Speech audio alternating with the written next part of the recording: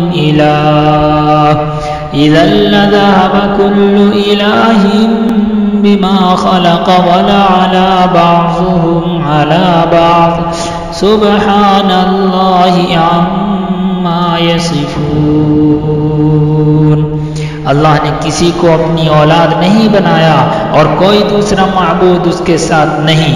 अगर ऐसा होता तो हर मबूद अपनी खल्क को लेकर अलग हो जाता और फिर वो एक दूसरे पर चढ़कर दौड़ता।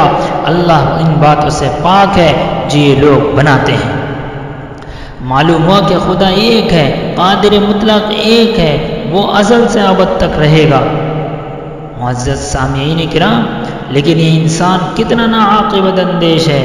कि इन वाज दलाइल बराहीन के बावजूद अपने तस्वुरात और ख़यालात पर अतमाद करके दूसरों को खुदा का शरीक बनाता है और इस पर भी गौर नहीं करता कि एक तरफ़ वो अल्लाह है जो हर चीज़ पर कादिर है, जो चाहता है पैदा करता है, जब चाहता है और जिसको चाहता है ज़िंदा करता है और मुर्दा करता है।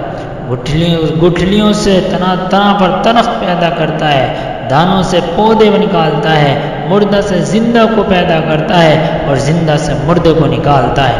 यानी मुर्गी से अंडा और अंडे से बच्चा पैदा करता है। लिहाजा अपने कलाम पाक में इर्शाद फरमाता है नवा, युखरिजुल हय्य मिनल मय्यिति व मुखरिजुल मय्यिति मिनल हय्य। ज़ालिकुमुल्लाहु फअन्ना तुफकून हकीकता अल्लाह ही दाने और गुठली को फाड़ने वाला है। वही ज़िंदा को मुर्दे से निकालता है और वही मुर्दा से ज़िंदा को निकालता, निकालने वाला है। ये सब कुछ अल्लाह ही करता है। तो फिर तुम किधर झूम, किधर बह के जा रहे हो? बरदरान इस्लाम एक तरफ़ तो खालिक कायनात की क़वत बाहरा का ये हाल है कि हर चीज़ पर कादिर है फ़ालमा युरीद है। उसके इशारे के बगैर एक पत्ता भी हरकत नहीं करता। उसके इकतदार की चादर हर शय पर साया फिगन है। वही भूखों को खिलाता है और प्यासों की प्यास बुझाता है। हकीर पानी पानी से अशरफमखलूक़ात को पैदा किया और अपनी कुदरत व मशीयत से उसको मसजूद मलाइका बना दिया।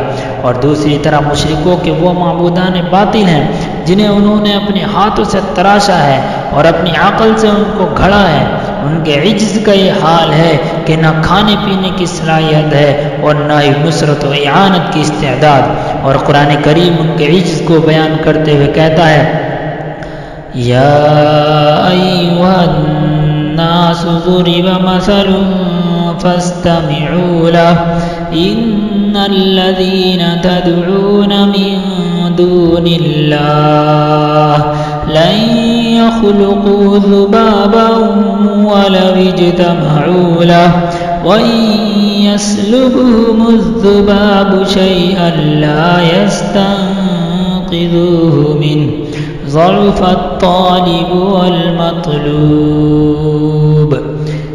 ये लोगों मिसाल बयान की गई है तो उसको बगौर सुनो कि उन बुतों से मक्खी अगर कोई चीज़ छीन ले तो उससे उस चीज़ को छुड़ाने पर कादिर नहीं है बड़े ही कमज़ोर हैं तालिब मतलूब, यानी मुशरकिन और मबूदान बातिल।